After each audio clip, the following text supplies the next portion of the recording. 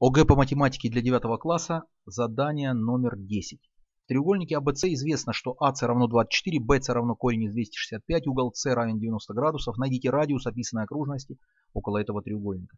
Строим прямоугольный треугольник, угол С равен 90 градусов по условию. И вспоминаем, что центр описанной около прямоугольного треугольника окружности а, находится в центре гипотенузы. То есть он делит гипотенузу пополам. А, проведем из точки С медиану. То есть это и будет радиус. То есть берем центр, точка О.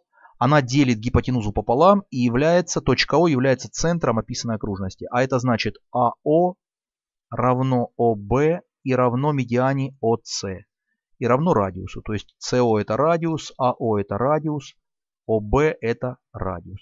Вот если бы мы сейчас э, описали окружность около этого треугольника, у нас бы получилась вот какая-то вот такого типа окружность. Вот что-то типа такого. Вот такой окружности. А, далее. Теперь нам осталось только найти, то есть чтобы найти радиус описанной окружности, можно найти гипотенузу и поделить ее пополам. То есть то, что нам нужно, радиус описанной окружности равен половине гипотенузы, то есть АБ а разделить на 2. И как раз вот это нам и нужно найти. А, найдем по теореме Пифагора АБ. То есть по теореме Пифагора квадрат гипотенузы равен сумме квадратов катетов. А это значит АБ квадрат равно АС квадрат плюс БС квадрат. Подставляем. АБ квадрат пока перепишем. АБ квадрат равно АС квадрат. Вместо АС подставляем 24. 24 в квадрате. Плюс bc в квадрате. Это корень квадратный из 265. Да возводим в квадрат. Получается просто 265.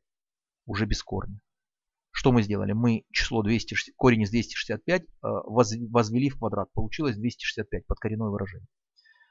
А далее. Теперь нужно просто посчитать. 24 в квадрате. На экзамене ОГЭ будет э, дана таблица квадратов, чисел. И по таблице квадратов э, можно будет определить, что 24 в квадрате это 576. Ну или если вдруг таблицу не выдадут, хотя обязаны выдать, э, если не выдадут, тогда просто-напросто надо будет умножить столбик. То есть надо будет умножить 24 на 24 в столбик.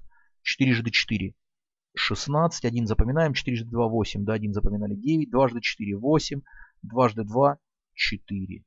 Складываем Получается 6, 8 плюс 9, 17, 7 пишем, 1 запоминаем, 4 до 1, 5. То есть получается действительно 576.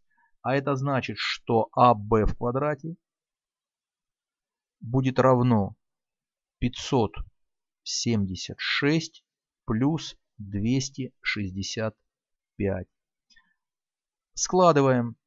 Получаем в итоге, кстати, тоже можно в столбик сложить.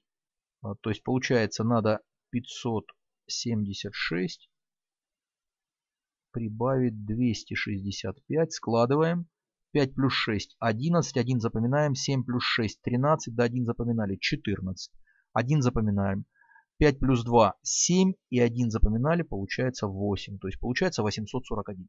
А это значит, что АБ будет равно корню квадратному ну, вообще-то говоря, плюс-минус корень из правой части. Но так как АБ это длина гипотенузы, а длина гипотенузы это всегда число положительное, поэтому мы берем этот корень со знаком плюс.